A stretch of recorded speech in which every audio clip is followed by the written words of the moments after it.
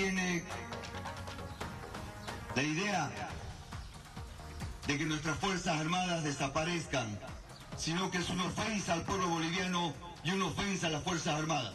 Ustedes y el pueblo boliviano sabemos que eso se convierte en una utopía, en una simple idea por el angurrio del poder.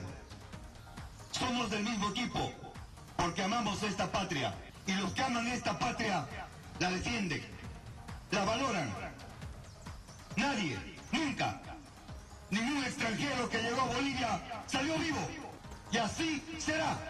Nadie que intentó humillar a los bolivianos y bolivianas salió exitoso. Todos fueron derrotados y no va a ser la excepción. Ya no nos interesan las disculpas. Tarde. Ya nos ofendieron.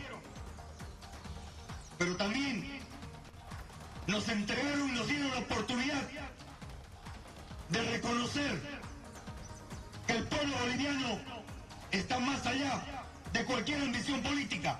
El pueblo boliviano está más allá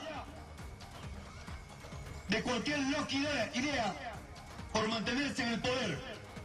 Van a tener que pasar por nuestro cadáver intentar que unas milicias entren en nuestro país. Que nos venimos entrenando para la contrasubversión. Tenemos experiencia. Conocemos nuestro territorio como la palma de nuestra mano. Que no se atrevan.